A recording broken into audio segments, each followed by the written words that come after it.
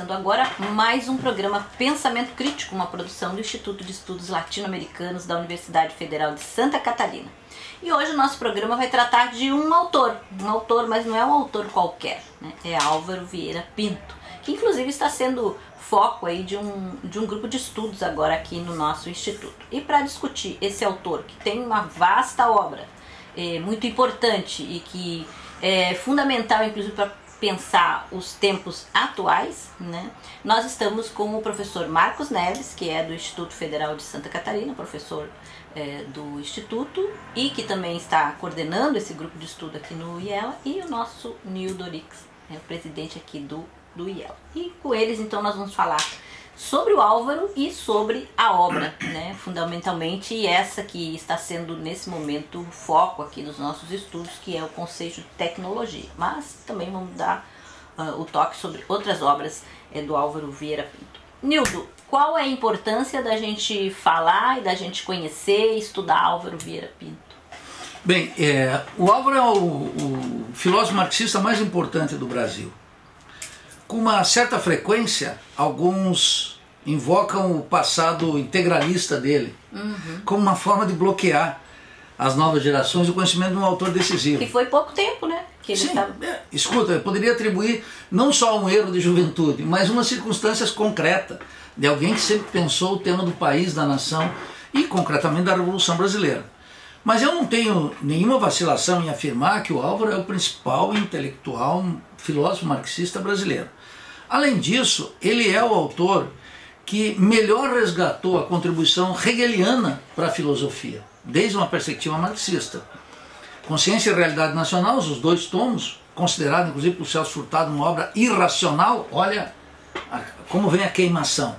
É um livro extraordinário do cuidado que esse sujeito teve, pagando com exílio, voltando para o Brasil, né, e morrendo no mais absoluto anonimato e deixando obras extraordinárias, obras póstumas, entre as quais o conceito de tecnologia e, sobretudo, algo que eu indico para todos os alunos de sociologia, das ciências humanas em geral, mas para os físicos, para os matemáticos, para os médicos, para quem quer que seja, é, sociologia dos países subdesenvolvidos. Além do horizonte mais importante para pensar a universidade brasileira, que segue sendo a questão da universidade. Um livro que ele escreveu antes do, da ditadura de 64, uma contribuição para a União Nacional dos Estudantes. E depois a obra dos sete ensaios sobre educação de adultos, ciência e existência, uma vastíssima obra que tem sido sistematicamente boicotada e desconhecida pelos marxistas. Por quê? Porque nós, a intelectualidade, Marcos e Elaine, e todos que estão nos escutando, que foi é, crítica durante a ditadura e crítica da democratização e da democracia restringida que nós sofremos, eles estão completamente esquecidos. Inclusive alguns que navegaram como os queridinhos da universidade, em alguma medida, como Florestan Fernandes, Darcy Ribeiro, Maurício Strattenberg, que na atualidade são totalmente desconhecidos como se de fato nunca tivessem existido. O Álvaro, inclusive, nem teve essa sorte do Darcy, como disse o Zé Leite Lopes, um físico aqui como o Marcos, é, a ditadura nos perdoou, mas os nossos coleguinhas não. De tal maneira que toda uma inteligência potente, marxista, crítica do pré-64 e que continuou produzindo durante a ditadura, resistiu à ditadura, sucumbiu na democracia restringida. E a universidade tem uma dívida para com Álvaro Vieira Ponte, uma dívida gigantesca, que é resgatar, ler e estudar. Então, é, objetivamente, como o horizonte mais importante da filosofia marxista entre nós é o Álvaro Vieira Pinto. Completamente desconhecido, absolutamente indispensável, e um, ele nos dá uma partitura, na minha leitura, de temas essenciais. Por exemplo, ninguém pode pensar a universidade hoje e a posição do pesquisador, do intelectual na periferia capitalista, sem a sociologia para os países subdesenvolvidos, sem a questão da universidade e sem a questão de o livro da ciência e existência, que esse é resgatado nas faculdades de educação, mas sem a radicalidade necessária que ele imprimiu em toda a sua obra, e em particular, digamos, na obra póstuma, que é monumental. O conceito de tecnologia não tem paralelo no Brasil e em poucos países do mundo. Talvez Bernal nos Estados Unidos, mas uma, uma obra com essa consistência com essa força teórica e com essa potência crítica, isso aqui devia ser leitura obrigatória nas faculdades de engenharia. É, não seguindo é. a própria lógica dele em qualquer época, né? Porque é, uma, é um livro Sem que dúvida. nos permite pensar a nossa época sem essas bobiças, né? De ai, as novas tecnologias e tal, né? E também é importante lembrar que o Álvaro Vieira Pinto era médico, né? Formado em medicina e também ligado à matemática, quer dizer, um cara daqueles tipos sábios de antigamente, né? Que tinha ramificações por vários campos do, do saber. Marcos, e tu, né? Como é que surge essa ideia aí de trabalhar o Álvaro Vieira Pinto e como que tu compreendes a importância dele no, no universo da universidade, enfim, que as pessoas têm que se apropriar é, desse conhecimento? Bom, essa obra, o conceito de tecnologia, ela foi a sua última revisão ocorreu em 1974. Portanto, estamos aí né, em fevereiro de 1974. E, portanto, estamos há 50 anos praticamente da conclusão dessa obra. Então, a primeira questão é que alguns podem pensar, pô, mas debater o conceito de tecnologia de um autor que pensou há 50 anos atrás, ela é um resgate praticamente Histórico, assim. inútil, né? porque os debates contemporâneos são outros. Na verdade, não são. Se nós formos é, fazer um olhar e uma leitura dessa obra, o Álvaro Vieira Pinto não está discutindo fenômenos da tecnologias naquele momento histórico ali da década de 70, onde toda a discussão da cibernética começa a aparecer como sistemas de controle no processo produtivo. Ele está, na verdade, fazendo uma filosofia da tecnologia naquele momento. Portanto, ele não está discutindo os fenômenos. Ele olha para os fenômenos, olha para a aparência, mas discute do ponto de vista filosófico. Por isso, o próprio nome do livro é O Conceito de Tecnologia. O que é tecnologia? E nesse sentido, né, quando a gente olha hoje é, aqui na nossa realidade, nós temos vários termos que, claro, que não estavam presentes lá naquele momento histórico. Né? Termos como internet das coisas, metaverso, é, cidades inteligentes, né? o 5G. Então são termos que estão aí no linguajar tecnológico e que na verdade representam é, processos de continuidade é, de uma é, modernização do processo produtivo e se estendendo essa modernização, modernização do processo produtivo também para é, as áreas de circulação da mercadoria, dos serviços, né? mas fundamentalmente é, o que ele vai resgatar né, e fazer logo inicialmente a crítica a tal conceito de era tecnológica, ele vai falar, olha, não existe era tecnológica. Esse é um olhar, né, é, a partir de um ponto de vista ideológico, da classe dominante hoje que tenta marcar né, a sua época e o seu olhar sobre a tecnologia. Falar, desde que o homem é homem, existe a era tecnológica, porque para o Álvaro Vieira Pinto, a técnica está vinculada ao processo de conhecimento e da relação do homem com a natureza. Então, nesse sentido, ele vai fazer algumas reflexões sobre a, o, o, surgimento da máquina, vai fazer um resgate do conceito de técnica, diferenciar a técnica da tecnologia. Então, todas essas reflexões, elas são reflexões que nos dão base para pensar, inclusive, é, essas situações que nos colocam hoje de debate sobre, por exemplo, aqui em Florianópolis nós temos né, a primeira PIB de Florianópolis é considerado a economia é, tecnológica, né? ou seja, a Ilha do Silício. Na verdade, a Ilha do Silício aqui é uma referência ao Vale do Silício na Califórnia, que lá sim é um projeto nacional dos Estados Unidos, mas aqui a Ilha do Silício, na verdade, se você for olhar, é, fazer um olhar clínico sobre essa realidade, nós vamos ver que é, todo esse parque tecnológico não está vinculado a nenhum projeto de soberania nacional, não está vinculado é, a nenhuma um, reflexão crítica né, sobre é, esses, esses processos de automatização, de informatização, de, é, de controle, vamos dizer assim, do processo tanto produtivo quanto de sistemas informativos de controle da, das áreas de serviço, do nosso cotidiano.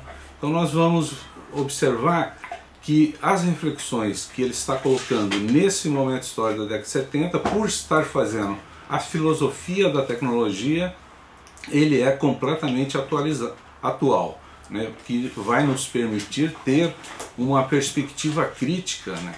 Além do que, como o Nildo colocou, ele vai fazer é, um resgate do pensamento dialético, da forma como você é, trabalha a questão da tecnologia a partir de um pensamento dialético e mostrando as limitações da lógica formal para você analisar a tecnologia. Essencial. É, e também é legal que é, é um nacionalista, né? Então toda a discussão que ele faz é em função é, do, da nossa, né? do nosso espaço geográfico, né? Como o Marcos estava colocando aí, não, não é uma imitação né, do que vem é, da, do centro do sistema. Mas enfim, a gente já volta, fica aí. Toussaint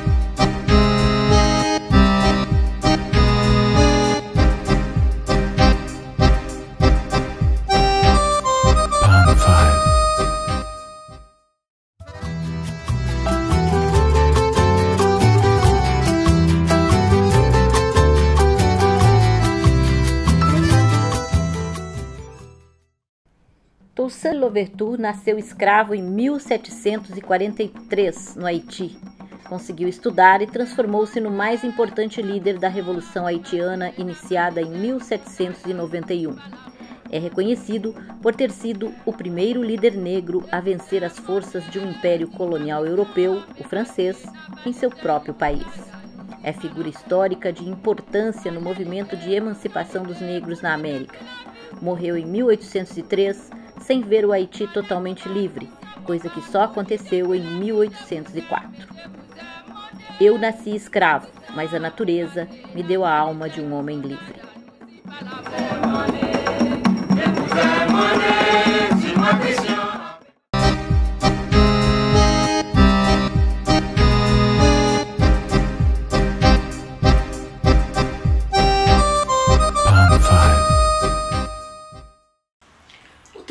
Nosso programa Pensamento Crítico, uma produção do Instituto de Estudos Latino-Americanos aqui da UFSC. E hoje falando sobre Álvaro Vieira Pinto e a contribuição né, que esse importante filósofo, ainda tão desconhecido, né, deu ah, para o conhecimento brasileiro, para a filosofia e tal. E eu falei no, no bloco passado, né, Nildo, sobre essa questão do nacionalismo. Isso também é um elemento importante na obra dele, né? pensar a nação, pensar o desenvolvimento nacional. Isso tem a ver com esse esquecimento? Ah, obviamente, porque um país subdesenvolvido e dependente, ele está submetido a uma pressão do cosmopolitismo alienante, como se as nações não existissem. O Marx colocou aqui, o Vale de Silício na Califórnia é um projeto para a grandeza dos Estados Unidos, para o nacionalismo estadunidense.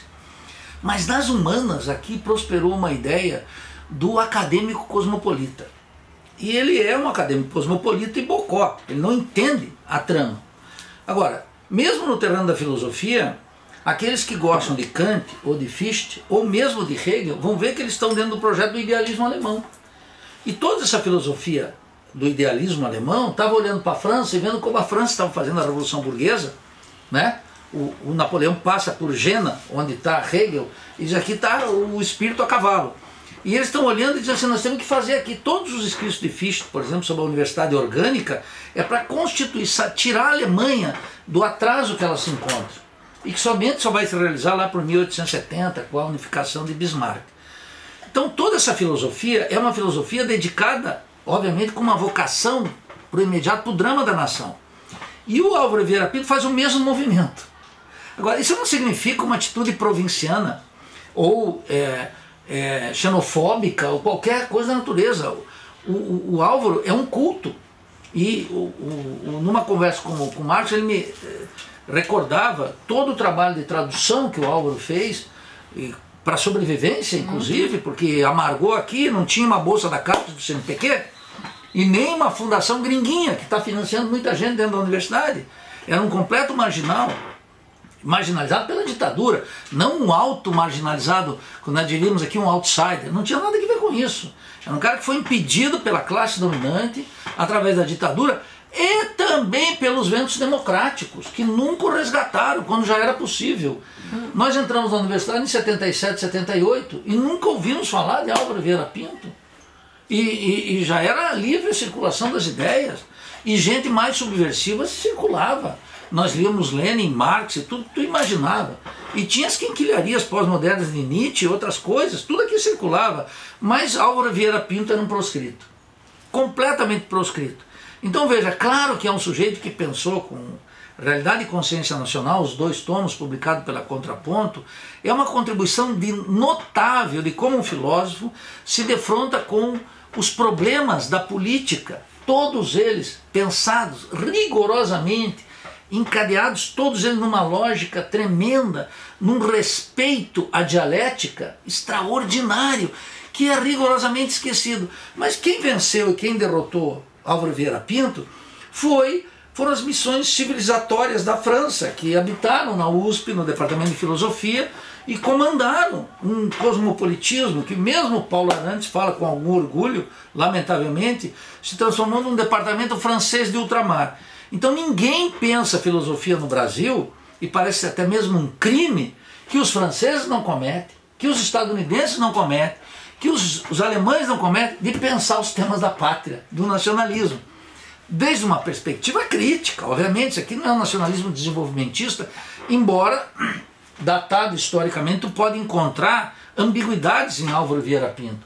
Mas essa ambiguidade te mostra, desde, desde os dias atuais, o quanto a dependência e o subdesenvolvimento os países periféricos a mero consumidores de tecnologia e das formas tecnológicas, e não do conceito de tecnologia.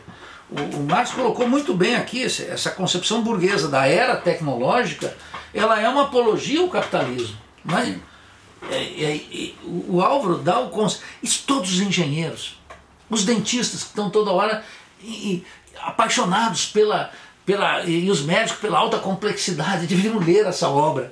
Isso aqui é uma obra de consumo não para os filósofos, é para o povo ler, para todas as profissões, porque a cultura não está impedida para o engenheiro, nem sequer para o economista para falar. É, e é interessante isso porque é, a gente vê, né, a ideologia mostra, ah, nunca antes na história tivemos um mundo tão tecnológico. É a mesma coisa diria o homem que inventou a roda, né? Óbvio, nunca antes na história, porque, claro, é, e um dos elementos que também aparece no, nesse trabalho do, do Álvaro Marcos, é, e que ele não fala com essa linguagem, mas que aparece, é essa ideia de que é, os países subdesenvolvidos que se, se rendem à inovação, né? A inovação não é a construção do conhecimento. A inovação é justamente tentar melhorar o que já existe, ou seja, é manter a dependência é, o, o, na verdade, a centralidade da reflexão do Álvaro ao discutir o conceito de tecnologia, ela parte do conceito de trabalho, ou seja, a é, inserção do homem em uma situação clara de, de trabalho, portanto, de relacionamento com a natureza.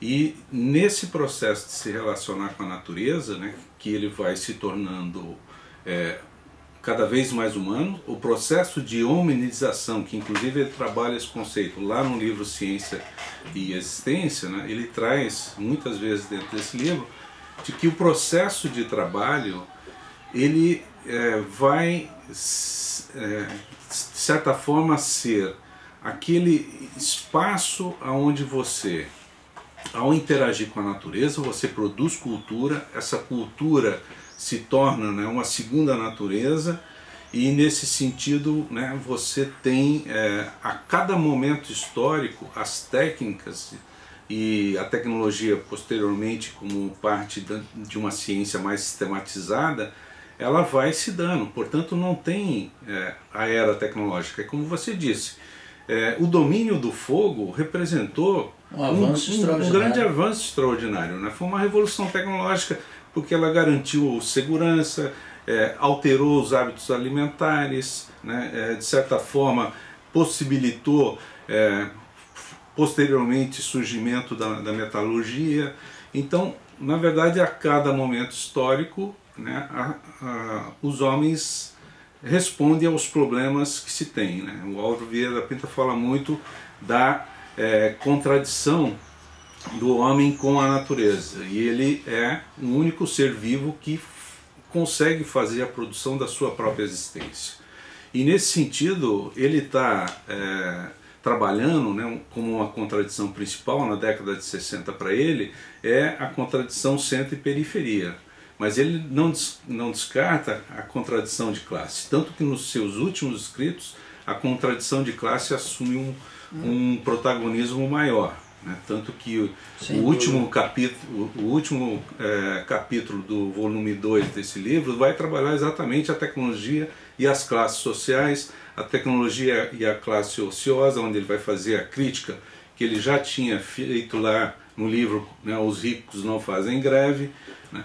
Então, por que os ricos não fazem porque greve? Porque os ricos não fazem greve. Então, nesse sentido, é, ele está pensando é, que a consciência crítica né, do, da classe em si, ela só vai se tornar classe para si à medida que ela é, se debruçar a pensar as suas condições técnicas de produzir é, e a sua existência. Então, nesse sentido, é, podemos dizer que ele está, ao mesmo tempo, trabalhando aí com uma ideia né, de simultaneidade, contemporaneidade, porém não coetânea. Ou seja, ele tenta mostrar que é, à medida que a gente avança né, no processo de industrialização, você constitui uma classe social que, ao né, manusear essas novas é, maquinarias, enfim, ela vai adquirindo uma consciência da complexidade social, do seu papel nessa produção né, e como que essas maquinarias vão incorporando parte do seu conhecimento e, portanto, dentro de uma estratégia do capital, seria, na verdade, um processo de apropriação do conhecimento. E nesse Sim. sentido você tem as resistências. Né? Poderemos, podemos falar que, por exemplo, uma greve que é, é trabalhada pelos trabalhadores, quando eles adotam a operação tartaruga, eles estão fazendo uma grande crítica ao ritmo né, de produção, ao processo né, de incorporação do seu saber por essa maquinaria e, portanto, né, cada vez mais tendo consciência da necessidade de ele é, assumir o controle desse processo produtivo como um todo, né, que é o primeiro passo para você se tornar classe para si, ou seja, ter a consciência de que não há necessidade do patrão para você fazer a gestão desse processo. Né? Agora, é claro, é, na década de 70, né, pensando assim, que a tecnologia ela se incorpora né, no processo produtivo e ele vai trazer todas as reflexões que Marx traz lá no Capital sobre a questão da maquinaria, é, mas também nós temos que ver que nesses 50 anos o grau de é, integração dessa tecnologia no processo de é, circulação da mercadoria, ou seja, na realização dessa mercadoria, né, ela precisa, você não extrai a mais-valia só no processo produtivo, né, você precisa que esse produto se torne, é, se realize enquanto mercadoria para você ter efetivamente a concretização da mais-valia. E nesse sentido, né, é, já se fala muito que o capitalismo ele contrai o tempo e o espaço. E como é que ele contrai o tempo e o espaço? Ampliando a, a presença das, dessa tecnologia na sociedade. Né? E nesse sentido, ele fala que esse processo ocorre no centro, mas não ocorre na periferia. E para que você tenha um desenvolvimento tecnológico soberano, esse processo tem que ocorrer tanto no processo produtivo, se integrar na sociedade e, portanto, aí sim você vai ter é, uma a possibilidade de você socializar essa riqueza e socializar o conhecimento. Então, essa discussão que ele coloca. É, vê que ele não tem nenhuma dessa visão catastrófica, nem ludista, que tem que destruir as máquinas e tal. Não, é justamente quem é que está dominando isso, né? Essa é a questão. Enfim, já voltamos para o terceiro bloco, fica aí. Em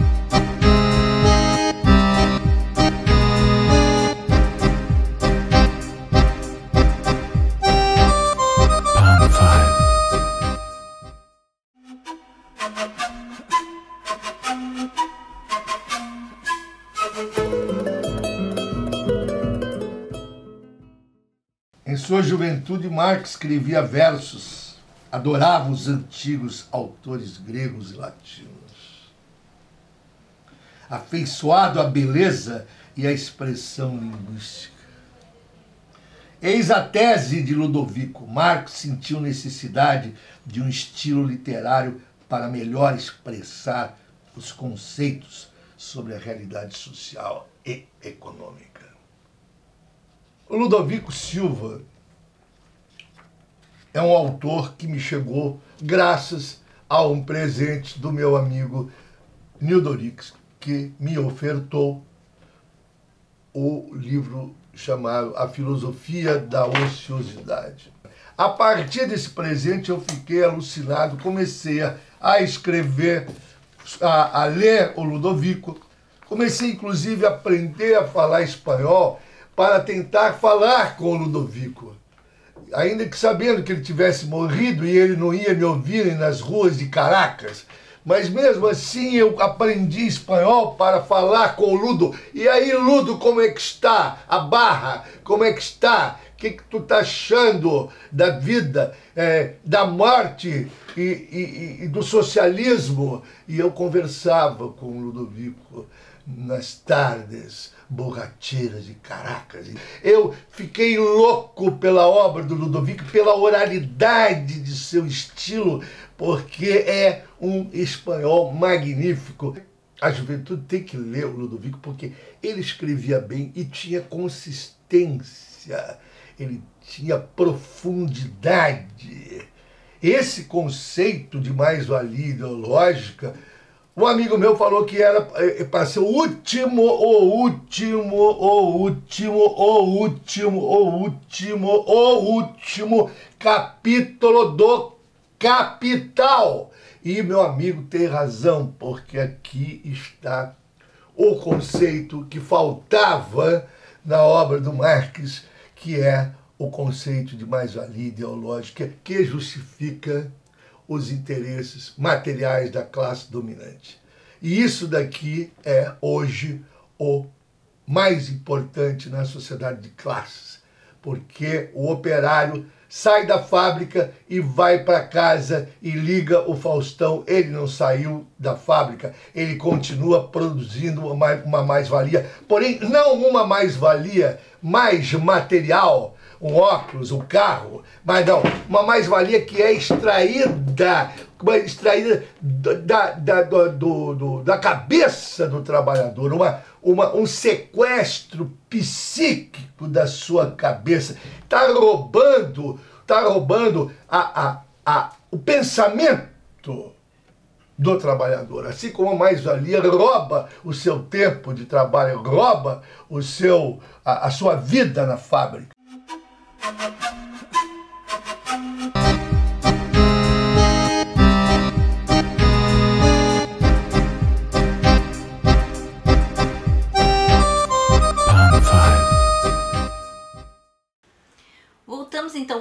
Programa Pensamento Crítico aqui do Instituto de Estudos Latino-Americanos, hoje discutindo Álvaro Vieira Pinto e a sua obra.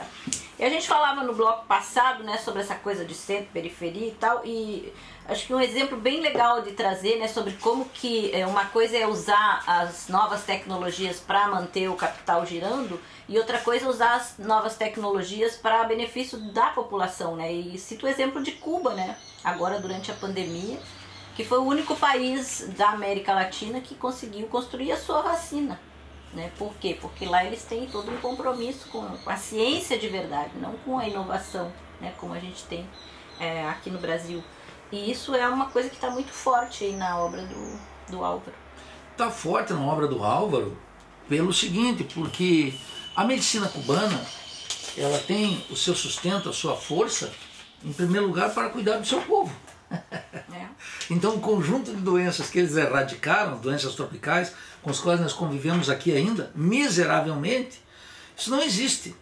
Mas é claro que, veja como é o caráter ideológico sobre a reflexão sobre ciência e tecnologia. Cuba é considerada pela, pela apologia do capitalismo como um país atrasado do ponto de vista científico e tecnológico. É. E considera que ele está bloqueado. Não, nem vou falar do bloqueio, de outras conquistas sociais, como o fim do analfabetismo e um conjunto de conquistas. Por exemplo, eliminar o analfabetismo é um pré-requisito para o desenvolvimento da ciência e tecnologia? Sem dúvida. Ah, inclusive, tem que, temos que lembrar que o alfabeto é um, uma, um sistema tecnológico, científico e tecnológico, né? claro. Porque o próprio Alveira Pinto coloca, e também o Paulo Freire, de que não, a, não existe a incultura. O que você tem é uma cultura, né? a cultura entendida aí como ação do homem na natureza e construindo novas, né? aquilo que é, não é natural, né? mas então, nesse sentido, é, o, assim como o alfabetismo, o analfabetismo está vinculado com o alfabetismo. Vocês, né, então tem necessariamente necessariamente se vincular a incultura com a cultura. Né? Então, nesse sentido, tanto a cultura quanto o alfabeto, né, eles são processos tecnológicos Sim, desenvolvidos e é claro que você tem é, uma apropriação da população é, que vai progressivamente se apropriando dessas tecnologias. O alfabeto é uma tecnologia, né? qualquer processo é, cultural ou qualquer máquina que se desenvolveu é fruto da técnica. Né? Então, nesse sentido. Claro, então veja, no, no caso brasileiro, nós temos 29, 30% entre analfabetos e analfabetos funcionais. O sujeito sabe identificar as letras, não sabe a compreensão. Quer dizer, o, isso o cubano não sofre. Além disso, como eles têm que resolver problemas Sim. próprios a partir das necessidades do povo, como por exemplo uma vacina própria, nós ficamos importando o Brasil, que é todo abestalhado pela classe dominante, não é? Que supõe que nós temos dinheiro para comprar lá fora, aprofundando a dependência científica e tecnológica, os cubanos têm que encontrar, pela grandeza da sua medicina, medicina nuclear, tudo que eles já conquistaram, eles encontram saídas próprias. Mas o que, que eles estão fazendo? não é só que é fruto do bloqueio, eles estão lutando contra o subdesenvolvimento e contra a dependência. Esse é o ponto central. Então, sem uma autonomia científica e tecnológica, não há nenhuma possibilidade. Agora, o economista tropeça com isso. Mas o economista está aqui para. É, é como os cães de guarda do sistema capitalista. Então, basta abrir o balanço de pagamentos para ver o déficit na conta de royalties, patentes, etc. E que a incorporação de marcas, pagamento de royalties, dividendos, etc., derivados da dependência científica e tecnológica. O número está escancarado no balanço de pagamentos. Agora, o sujeito tem o celular e ele acha que ele está modernizado, ele acha que ele está navegando no mais alto da ciência e da tecnologia. E aqui até tem uma coisa mais terrível ainda, né?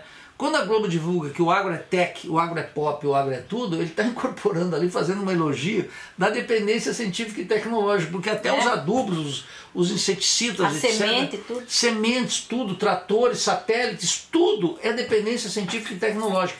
Aqui aparece como a versão colonizada, dependente, o elogio da tecnologia alheia. E, portanto, da mais absoluta. De... Cada barquinho que sai exportando soja ele paga uma quantidade tremenda para os satélites, para os tratores, todos de multinacionais, para a tecnologia, para os defensivos agrícolas, para o envenenamento do campo, está tudo ali. E agora, sem uma reflexão crítica, então, sobre a ciência e a tecnologia, nas condições de um país subdesenvolvido, porque esse é o centro também da obra de Álvaro Vieira Pinto. O Marquinho lembrou aqui adequadamente que o centro da sua reflexão é a relação homem-natureza e, portanto, o trabalho. Então essa é uma interpretação de extração marxista, claramente estabelecida. Sem essa leitura, nós vamos ficar submetidos às formas ideológicas que condenam a Cuba a ser um paizinho do Caribe como se não tivesse autonomia científica e tecnológica. Quando comparado com as nossas conquistas nesse terreno, eles estão mil anos à frente. É, e o que é legal também na obra do Álvaro é isso, quer dizer, a tecnologia para melhorar a vida do homem, né? Ao longo da história humana, o homem inventa novas tecnologias para melhorar a sua vida. E o que a gente vê nesse momento da história da produção do capital é que essas tecnologias vêm para, ao contrário, agrilhoar as pessoas e tornar as pessoas dependentes desse, desse universo, né? Então é importante essa leitura hoje desse, desse, dessa obra, que as pessoas possam compreender como que elas estão colocadas dentro dessa é como que essa dita modernidade é muitas vezes escravidão. É, principalmente sim, é, é, resgatando um pouco da vida do Álvaro, né, além de médico, é, ao se formar ele vai ter uma pequena experiência com consultórios médicos, mas ele vai é, voltar para o Rio e trabalhar como pesquisador nessa área de saúde. E como pesquisador na área de saúde, dentro de uma fundação de pesquisa sobre é, a implementação das técnicas de radiologia, de, né, de raio-x, ele vai, é, para entender a relação entre matéria e radiações, ele vai se voltar para a área da matemática, para a área da física, para compreender esses problemas, né, que eram problemas que o Brasil vinha enfrentando né, e desenvolvendo naquele momento, acompanhando, vamos dizer, o estado da arte da radiologia no mundo, nesse momento. Então ele é um filósofo, vamos dizer, autodidata, né? E vai fazer a sua tese de doutoramento na área de filosofia, né? mas ele está transitando ali também na área das ciências naturais né? e fazendo esse debate. Agora, o que é importante a gente também resgatar é, é que o processo tecnológico, né, o trabalho, ele é contraditório numa sociedade capitalista. Ao mesmo tempo, é, na área de educação a gente adota a ideia do, né, da, do trabalho como princípio, princípio educativo, educativo, no sentido de que o trabalho liberta, mas também o trabalho né, ele tem a sua raiz de tripalium, ou seja, da escravidão. Escravidão moderna, diria é, o Marx. É. Então o Álvaro vai trabalhar essa, essa contradição né, da, da, do aspecto do trabalho na formação do ser humano. Né? E, é, nesse sentido, os processos tecnológicos que a gente está vivendo, eles são respostas a problemas é, do capital, uhum. em algum, alguns aspectos.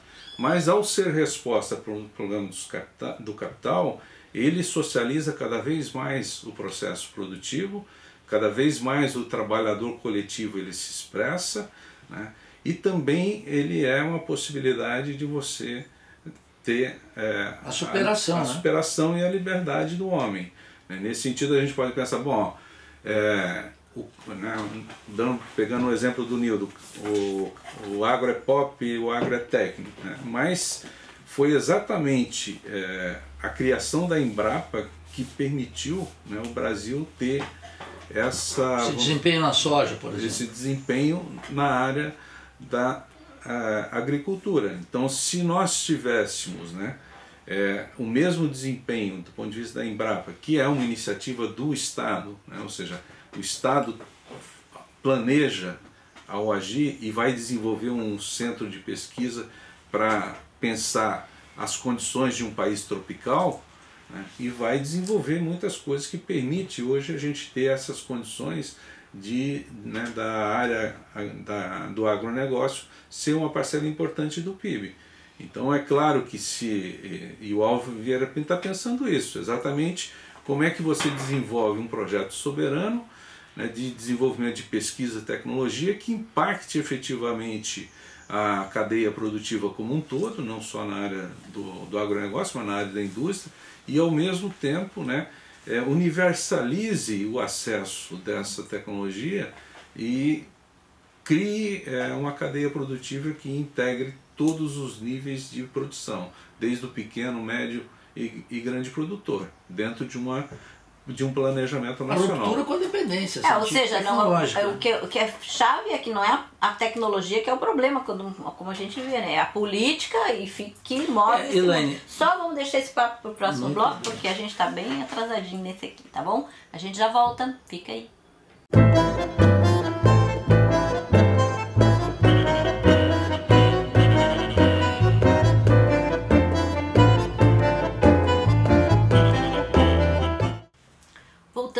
nosso programa Pensamento Crítico, hoje discutindo Álvaro Vieira Pinto e mostrar para vocês aqui essa pequena obra. é o conceito de tecnologia, né? São dois volumes, foi publicado agora há pouco. E não, mas não se assustem não com esse tamanho, né? Quer dizer, é a mesma coisa que a gente quando a gente pega o Capital, os Vindrice, mas é um, uma leitura muito tranquila, né? Ele escreve muito bem, né? Cada, como eu falava aqui antes, cada pequena uh, capítulo é um universo, né? A gente fica ali pode, pode ficar ali meses dentro daquele pequeno capítulo. Então, é uma obra que a gente tem que conhecer, né? Nós que trabalhamos com a política, os sindicalistas, os movimentos sociais, precisa conhecer uh, uma obra como essa. E um dos elementos que é importante também falar dessa questão da obra do Álvaro Vieira Pinto é que num determinado tempo da vida dele ele trabalhava muito com a ideia de que a educação mudaria o mundo. E mais para o final ele já começou a compreender que a revolução também era necessária. Né? Bem, a ideia de que a educação muda o mundo é uma das coisas, é uma concepção liberal, em que a esquerda liberal que nós temos agora quis dar uma tonalidade crítica. A educação não muda o mundo. É um mundo que pode mudar a educação, é o contrário. As pessoas dizem, olha, vejam o caso de Cuba. Sim, o caso de Cuba foi a Revolução Cubana que mudou as condições pelas quais eles têm um padrão educacional só comparável na saúde, na educação, com os, os, os países do, do norte da, da Europa, os países nórdicos. Então, essa concepção é muito ingênua, não é? E, e é, é muito importante que mesmo uma concepção, via de regra, muito rebaixada de Paulo Freire, o, o Paulo Freire tinha no Álvaro Vieira Pinto um mestre. Aliás, um, o livro sobre demografia dele não está traduzido ao português. É um livro que, que ele fez no Chile, de Allende, e que o Paulo Freire tinha uma grande devoção. Se, a, a, a, o, Pedagogia do Oprimido, por exemplo, do Paulo Freire, opera precisamente duas categorias de Álvaro, que na verdade são de Alberto Guerreiro Ramos, que é a, a, a consciência ingênua e a consciência crítica. O processo educacional é precisamente a transição da consciência ingênua, que é a consciência, para a consciência crítica em que naturalmente o, o, o domínio da linguagem e o, o fim do analfabetismo é uma condição necessária. O analfabeto tem uma consciência ingênua e ele pode inclusive transitar por uma consciência crítica, não é? Não é um problema só da educação.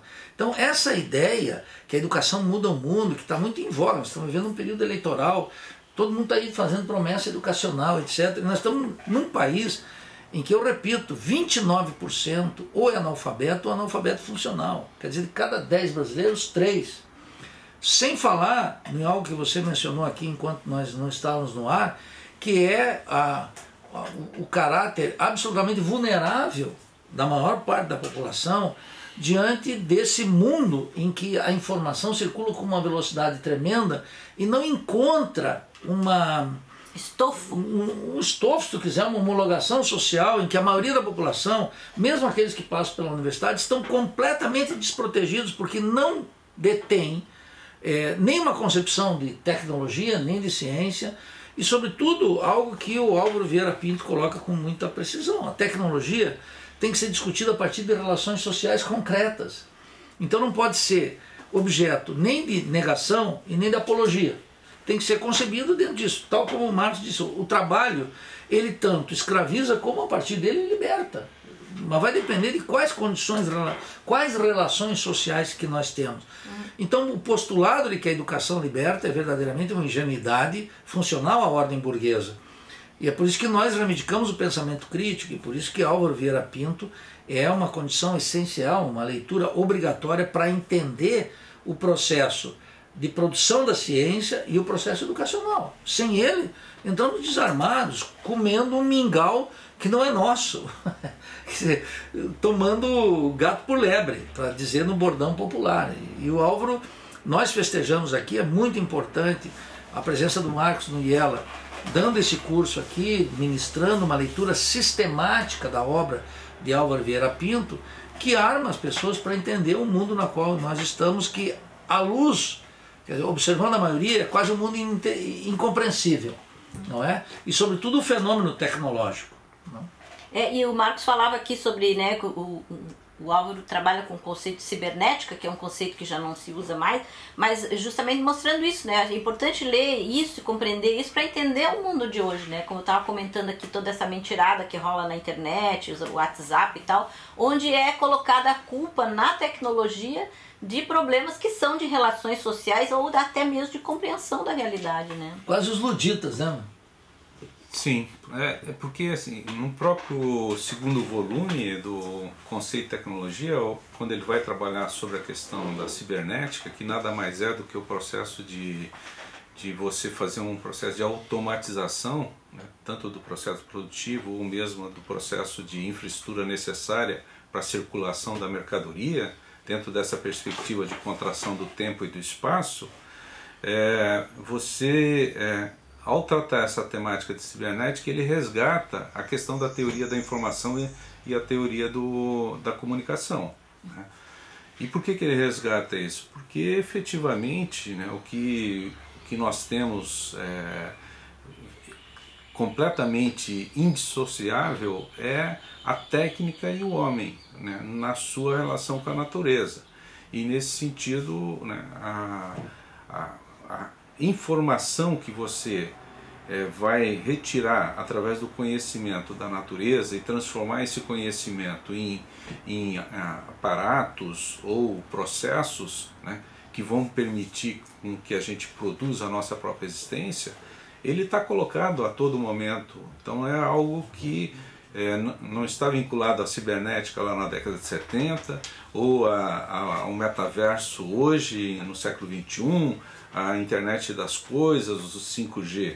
É um processo que você tem que compreender né, como é que isso responde problemas efetivos né, da, da, da humanidade. E nesse sentido, é, quem vai resgatar, inclusive, tanto essa obra quanto a sociologia do, dos, dos, países, dos países subdesenvolvidos são os educadores né, que conhecem esse vínculo do Paulo Freire com o Álvaro Vieira Pinto. Né? O, o, na pedagogia do oprimido, o Paulo Freire, ao desenvolver os processos de alfabetização, né, ele, ele vai fazer a codificação de uma realidade. Então, na verdade, ele reúne né, populações que não dominam a tecnologia do alfabeto e vai, a partir né, de, de uma de uma imagem da sua própria realidade, fazer uma reflexão onde permite que essa população veja de fora as suas condições de trabalho e as suas condições de existência.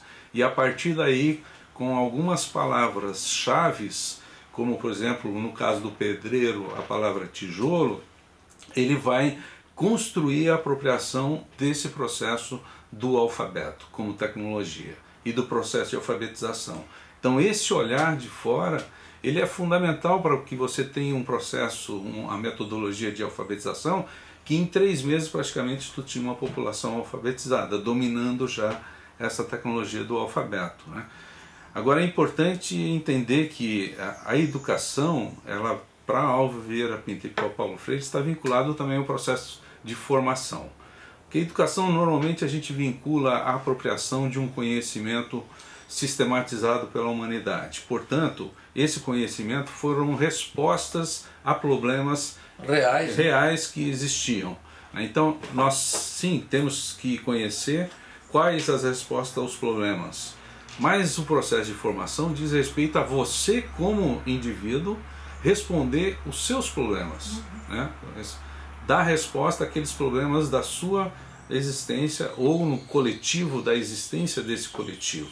Né? E nesse sentido, quando falamos em coletivos, é uma classe né, produtora que precisa dar resposta aos seus problemas. E ela vai dar resposta aos seus problemas a hora que ela pensa os, a, a, sua produção né? da sua existência. Né? E nesse sentido, é, a gente diz que, pensando nessa perspectiva, o processo de educação e formação é um processo revolucionário não dá para né, uhum. separar um processo revolucionário desse próprio processo, porque são nessas mediações é que ocorre a apropriação do conhecimento, a, a capacidade de intervir na, na realidade e, de certa forma, criar uma vanguarda necessária, porque não existe revolução sem sujeito revolucionário.